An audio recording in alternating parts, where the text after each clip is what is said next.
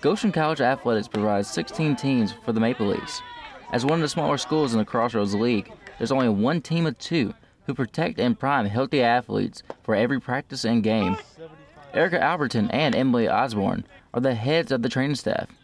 We question how do you manage to protect the large amount of athletes? I'd say that's probably one of our biggest challenges. So just having Emily and myself and then our 300 athletes. So we really try to direct people, kind of like air traffic control, especially like during this room can sometimes be, you know, like 50 to 80 people.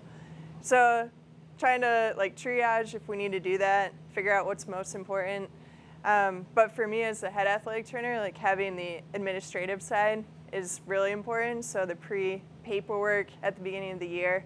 So I spend a lot of time in the summer when people aren't here, like putting together the emergency action plans, doing trainings like mental health training, uh, talking with all the coaches so they know what to do, and then CPR and first aid. So the coaches, they're the ones out at practice, so they have to know what to do right away, and I'm responsible for training them.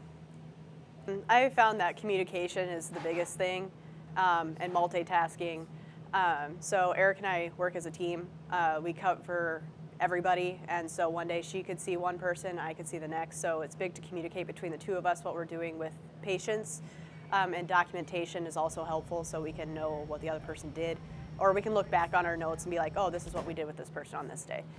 Um, and then also uh, multitasking, so can have one person doing rehab, doing joint moves or ultrasound or something else with somebody else.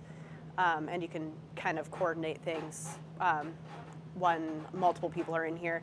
Um, and also I found it helpful to like shortest task first, so tape someone's ankle, then set someone up on stem, um, and then maybe do an evaluation after that has been the most helpful with so many athletes and just two of us. Both Erica and Emily mentioned the relationship they have built with the GC athletes.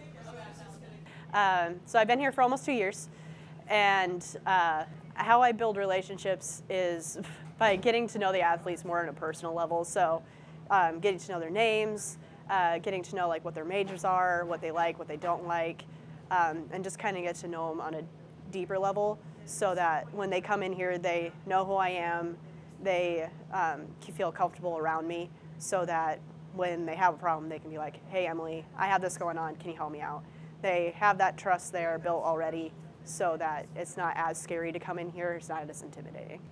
So I'll start my fourth year in August. Um, and working with students is definitely my favorite part about athletic training, especially like in a small collegiate setting like this. So I was a student athlete and got hurt. That's kind of how I got into athletic training. Um, and so my athletic trainer was there for the injury and then the rehab and my return to play. And so for me, like getting to know the student athletes is really important, whether that's just like seeing people across campus and saying hi, um, knowing people's names and kind of a part of their story. And then being able to share a little bit about myself or my knowledge or, you know, different aspects of athletic training. And so being the expert and conveying that to people is really important to start the like trust factor. Without trust, I want to be able to treat any of the student athletes. And so building trust and having relationships with the students, um, very important part. The Goshen College athletic teams are the stars under the lights, but it is the work and rehab of Erica and Emily before the game to keep them performing at a high level. For Globe Sports, I'm Benjamin Cotton.